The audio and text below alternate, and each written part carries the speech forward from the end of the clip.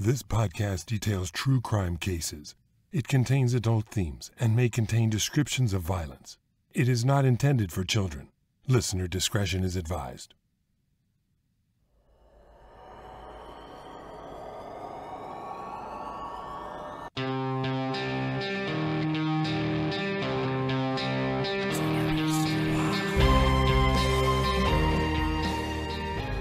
Hey, this is Esther from Once Upon a Crime. I am thrilled to have been invited to participate in the Generation Why podcast 10 year Podversary live show. Join me in helping Justin and Aaron celebrate their 10 years producing one of the best and longest running true crime podcasts ever. The live show will take place on September 8th at the Screenland Theater in Kansas City, Missouri, or you can also participate by live stream. Tickets are available at genwhypod.com. There's a link in the show notes. Along with Justin and Aaron, special guests include Nick and the Captain from True Crime Garage, Charlie from Crime Lines, Bob Ruff from Truth and Justice, Josh from True Crime BS, and me. It's gonna be epic, and you won't want to miss it if you're as big a fan of Gen Why as I am. They were actually my biggest inspiration for and for supporters of Once Upon a Crime. Once again, get your tickets for the live show or live stream at genwhypod.com, and I hope to see you there.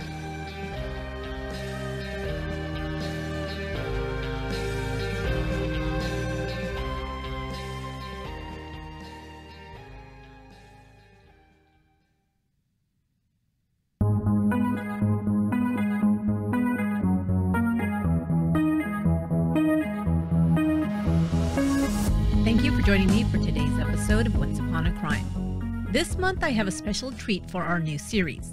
I've always been fascinated by crime, obviously, but I'm even more fascinated by female criminals.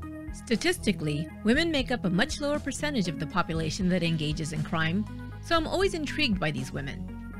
In this series, Wild Women, we are going to step back into history to learn about some of the earliest female criminals on record. Some of these wild women were the first settlers in the Old West. They made up a tiny but fascinating percentage of bandits, outlaws, gunslingers, and gamblers. I'm sure you'll find these ladies' stories pretty wild. First up, Sarah Jane Newman was just a girl when her family arrived in Texas Territory in 1820. She soon demonstrated that she was tough and resourceful enough to survive and even thrive in this harsh and sometimes violent environment. Later calling herself Sally Skull, her rumored violent temper resulted in frequent gunfights and multiple divorces. Was Sally Skull also a black widow who murdered at least two of her husbands?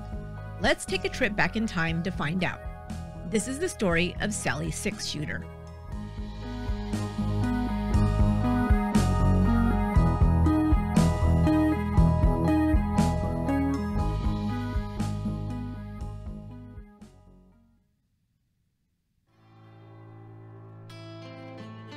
Sally Newman didn't need a man and didn't seem to get along with them very well, but always seemed to have one around. She was married more times than most women in Texas Territory even imagined it was possible, five times in total.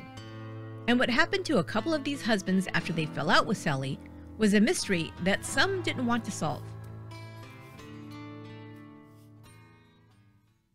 Sally was, well, different, to say the least.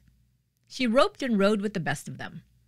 Sally was an expert horsewoman, and contrary to the conventions of the mid 1850s in which she lived, Sally didn't clothe herself in long skirts or ride side saddle. Instead, she adorned herself in pants and men's shirts and rode tall and proud astride the best equines in her large herd of choice stallions. Her piercing blue eyes shone out from under the black bonnet she always wore and seemed to look everywhere all at once, missing nothing. Her gaze swept over her environment in a way that suggested she was on the lookout for any challenge or other trouble that may dare arise. And if she sensed trouble, well, Sally dispatched with it quickly, drawing one or both of her pearl handled six shooters that were constantly strapped to her waist. Sally's temper was described as quick and terrible. She was said to be a champion cusser as well. One trail hand who rode with Sally said that his boss knew a variety of curse words that could, quote, scald the hide off a dog. Should Sally sense any disrespect aimed her way, or enter into a disagreement with some unfortunate soul, she would let out a barrage of expletives while simultaneously drawing both pistols in one smooth motion. It was best to clear the room as quickly as possible if Sally's six shooter was displeased. Even with her stern countenance and rough clothing, Sally could still charm men. They may have liked her fiery energy, at least at first, or perhaps it was the way she moved. She was said to be a skilled fandango dancer. The fandango became a popular form of entertainment for early Western settlers. A style of music and dance that originated in Spain, fandango dancing made its way to saloons and dance halls throughout the Southwest and California. It was common for married women to admonish their husbands to stay away from old Sally Skull, afraid she'd plug them with one of her six shooters, while equally nervous she'd steal their hearts. Sally had many suitors and married five times in total. Some of her husbands, it was rumored, ended up on her bad side and were never seen or heard from again. Accounts of her life seem to suggest that they were murdered by the hot tempered Sally, and this is not out of the realm of possibility. Sally Skull learned early to handle her problems by violent means as a way of survival for the time and place in which she was born.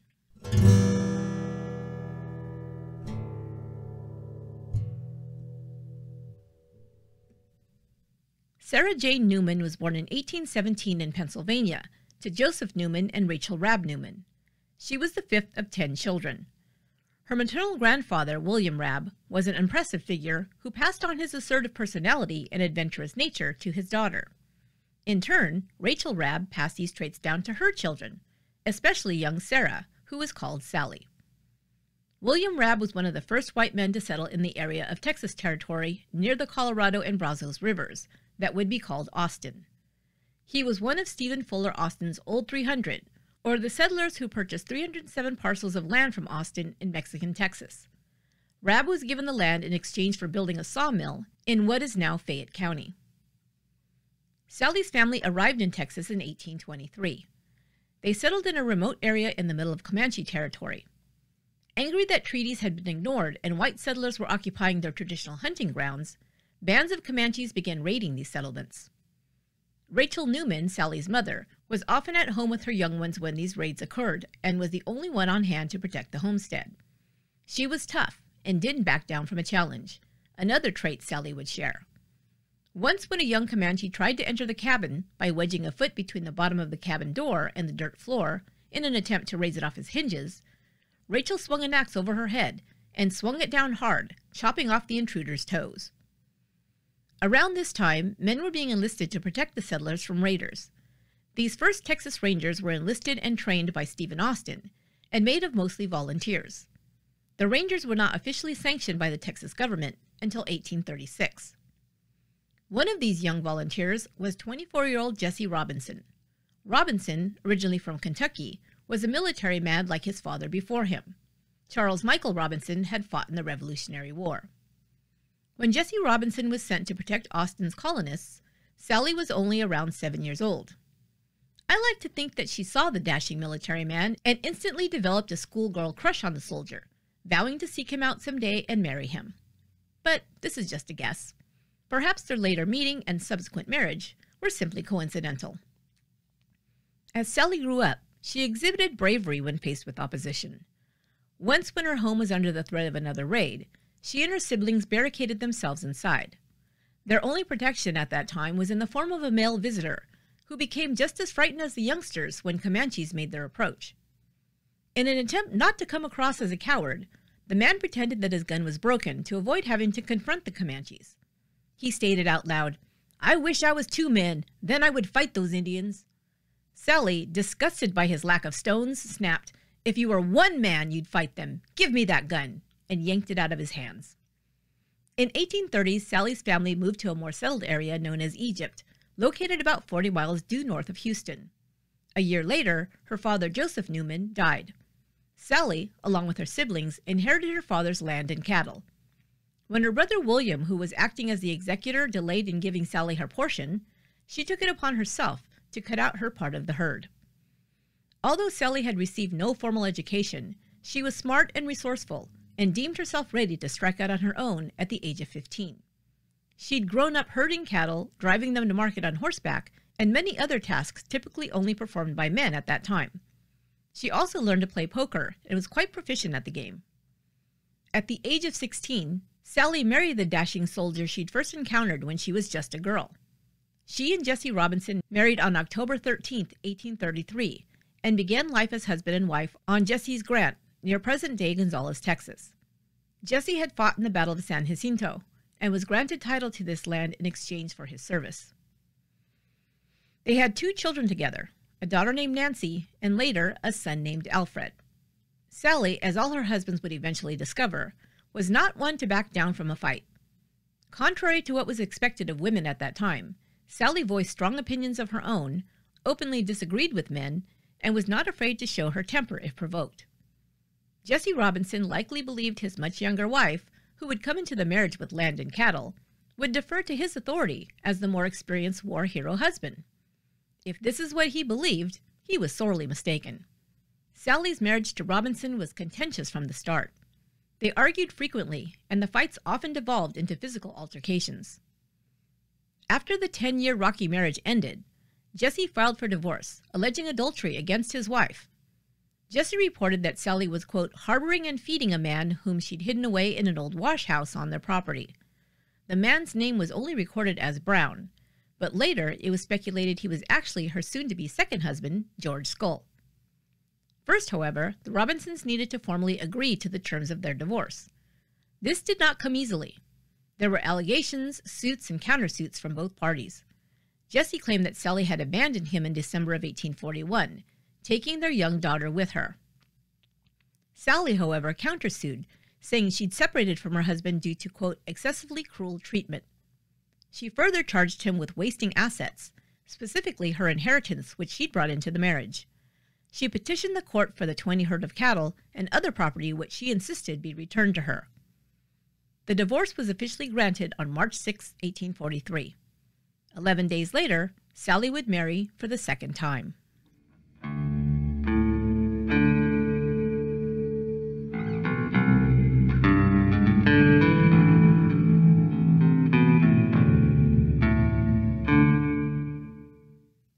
Hey there, this is Esther from Once Upon a Crime. A big thank you to all our new YouTube subscribers. If you like what you're seeing, make sure to tell a friend and share the true crime stories. Another way to support our show and keep getting Once Upon a Crime on YouTube is to buy me a coffee. Click on the link in the description box below to donate a couple of bucks to the show. Any amount is appreciated. You will have my undying gratitude. Thanks. Sally was divorced from her first husband on March 6, 1843 and married a second time to George Skull on March 17th. Skull, whose last name was spelled S C U L L, was a gunsmith. The newlyweds moved onto property owned by Sally on a parcel of land near Egypt in Wharton County. Sally and her ex husband had been in an ongoing custody battle after their split. By all accounts, Sally was a devoted mother and fiercely protective of her children. The judge that granted her divorce from Jesse Robinson simply split all their assets in half and didn't rule on who should retain custody of the children. As a result, they were placed in the middle of a never ending battle between their parents. After a little over a year and a half of marriage to George Skull, they sold the last 400 acres of Sally's land and livestock. By now, she owned several head of steer, cows, and hogs. They also sold Skull's gun-making tools and other farm equipment. It appears that Sally and George took the proceeds and headed out of town. But before doing so, Sally abducted her daughter Nancy. On that same day in December 1844, her ex husband filed a petition in Colorado County District Court accusing Sally of kidnapping their daughter. Reports would later state that Sally took Nancy to a convent school in New Orleans, where she left her. Sally wanted her daughter to be educated and believed the only way to ensure this was to keep her away from her father. It's also most likely true that because she and Robinson had never been able to see eye to eye, this was simply another battle of wills for control. Later, Nancy was able to retrieve her son Alfred as well, and also placed him in a New Orleans school. Robinson eventually succeeded in locating them and moved them to another school. A pattern emerged in which Sally would discover where they'd been taken, arrive to claim them, and once again enroll them in another convent school to hide them from her ex husband. This went on repeatedly, with the children being moved between different towns and schools frequently. Her husband, George Skull, had been by Sally's side during these travels, but simply dropped out of sight in 1849. At around that time, a record exists listing Sally as single. Rumors began to circulate that George Skull had been a victim of Sally's infamous temper. Had he crossed her along a lonely desert road and paid the ultimate price? Was he buried somewhere out in the desert where his body would never be found? It may seem far fetched to think that Sally murdered husband number two with what appears to be little provocation. But the rumors resurfaced and gained steam after another man, a mere acquaintance, found himself at the losing end of Sally's six shooter.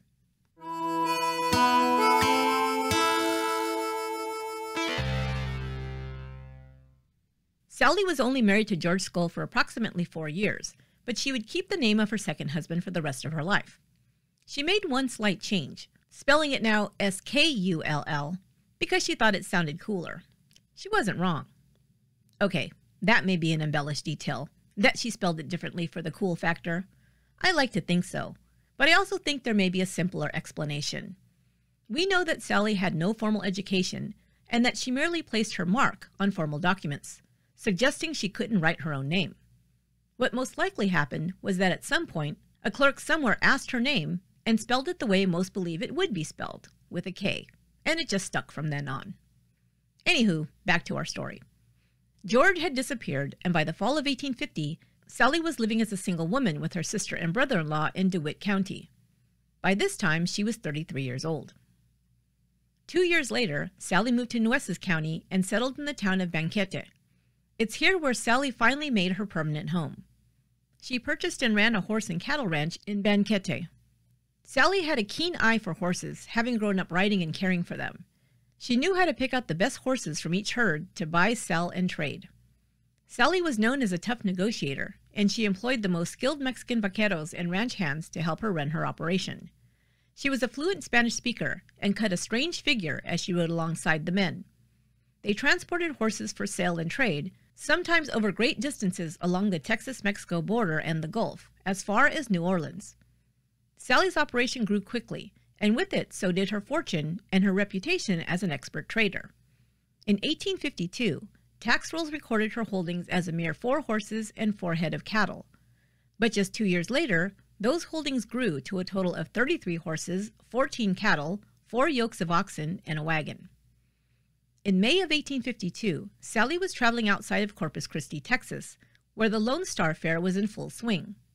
One man, named Colonel John S. Ford, who traveled to Corpus Christi to take in the fair's entertainment, later wrote out an account of an incident he'd witnessed.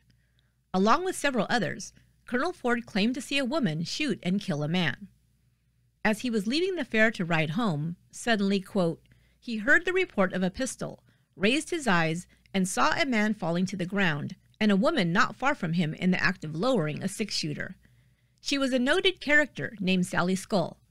She was famed as a rough fighter, and prudent men did not willingly provoke her in a row. The gunfight, if that's what you could call it, took place in front of several witnesses and appears to be a credible fact. Some reports say that Sally was justifiably acting in self defense. Whether or not this is true, the story resulted in Sally earning a reputation for having a quick and violent temper. Another interesting account of Sally's character was written by Julius Froebel. He described Sally as a perfect female desperado who was known to reside, quote, on the wild border country of the Rio Grande. She can handle a revolver and a bowie knife like the most reckless and skillful man. She appears at dances, fandangos, thus armed, and has even shot several men at merrymakings. She carries on the trade of a cattle dealer and common carrier. She drives wild horses from the prairie to market and takes her oxen wagon alone through the ill reputed country between Corpus Christi and the Rio Grande. By 1850, what most knew about this perfect female desperado was you don't mess with Sally's six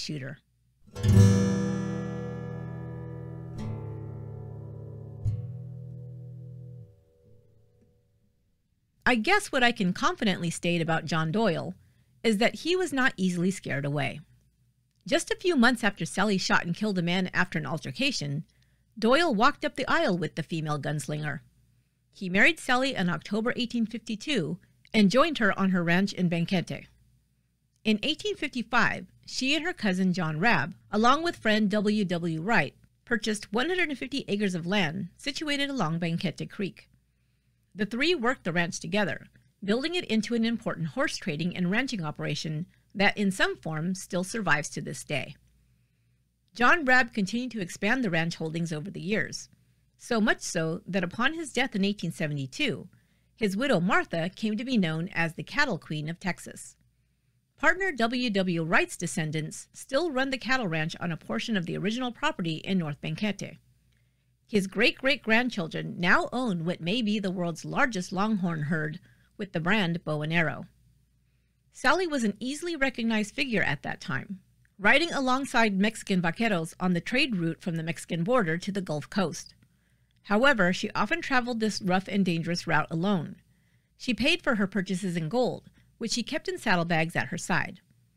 She wasn't too worried about the danger. Her familiarity with the route, her many contacts along the way, and of course her confidence as a quick draw and expert sharpshooter all assured her of her safety. It's also probable that her reputation alone kept others from attempting to challenge her. Not much is known about Sally's third husband, John Doyle. This is most likely because only two years after they wed, Doyle disappeared. Stories about the fate of Doyle, as well as George Skull, have circulated over the years. The definitive answer about what happened to husband number two and husband number three may never be known, but the stories are thought provoking.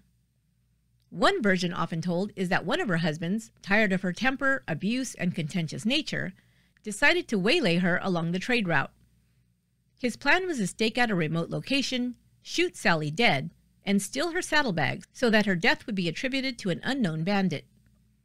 His plan failed when his first shot missed. Sally drew her weapon and a gun battle ensued in which Sally emerged victorious. She then buried his body in the desert, where it would never be found, in retaliation for his betrayal. In another account, her husband died as a result of an accidental shooting after a night of drinking and dancing at a fandango hall in Corpus Christi. Sally, who'd spent the night downing whiskey shots and dancing until dawn, could not be woken in the morning. Her husband decided to revive her by pouring a bucket of cold water over her head. Waking startled, Sally, on instinct, drew her six shooter and shot her husband dead before she knew what had happened. In another report, Sally was in a heated argument with her third husband, John Doyle, when in a fit of anger she shoved his head into a whiskey barrel, saying, There, drink your fill. Only she held his head under a little too long, and the poor man drowned. If this actually happened, Perhaps it made her think twice before raising her hand in anger afterward. However, if Sally attempted to adopt a more docile nature, she picked the wrong man to start with. Her fourth husband, Isaiah Watkins, himself prone to anger, may have taken advantage of Sally's newly acquired temperate nature and allowed his own violent nature to run rampant.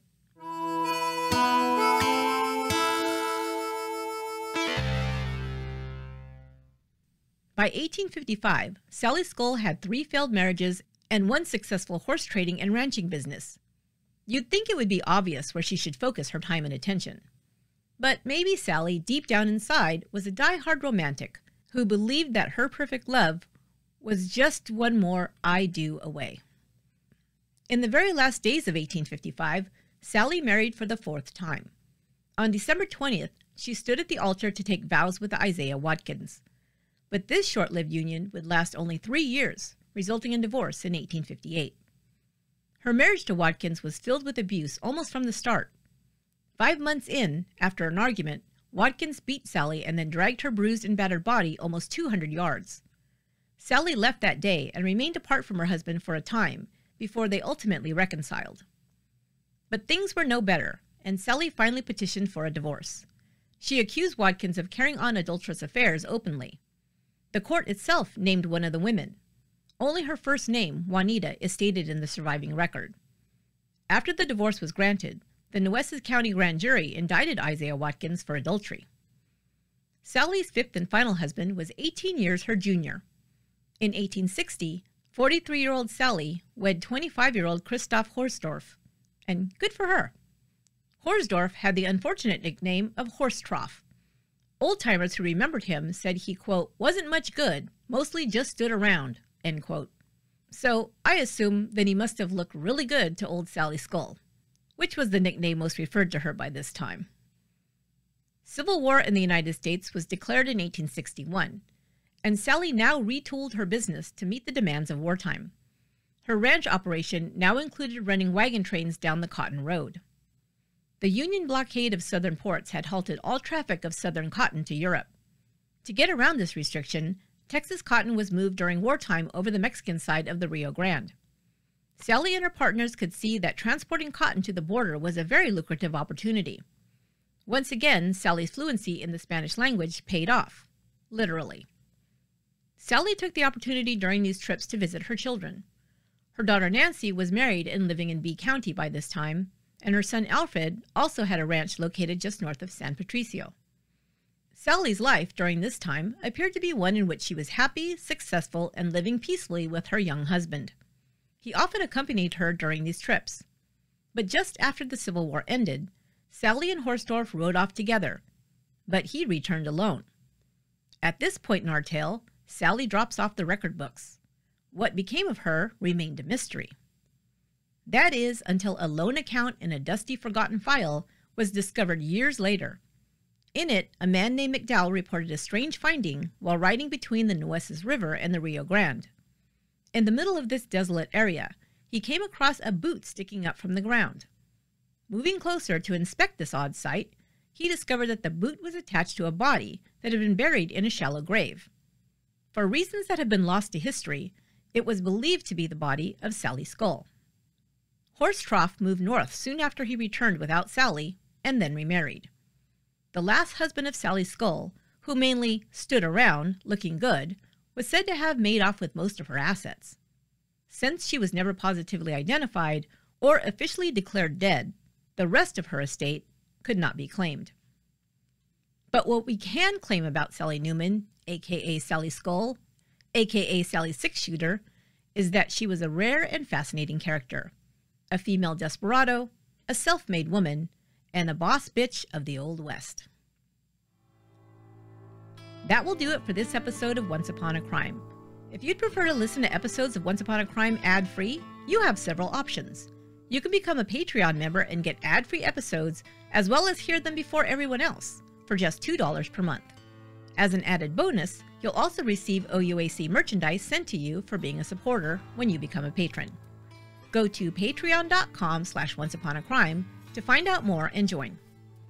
You can also listen to ad-free episodes in the Stitcher app if you're a Stitcher Premium member. For just $4.99 a month, you can listen to ad-free versions of all your favorite podcasts. Go to stitcher.com slash premium for more information. Once Upon a Crime is written and produced by me, Esther Ludlow. My research and production assistant is Lorena Garcia. Additional support for this episode was provided by Studio 71. Until next time, be good to one another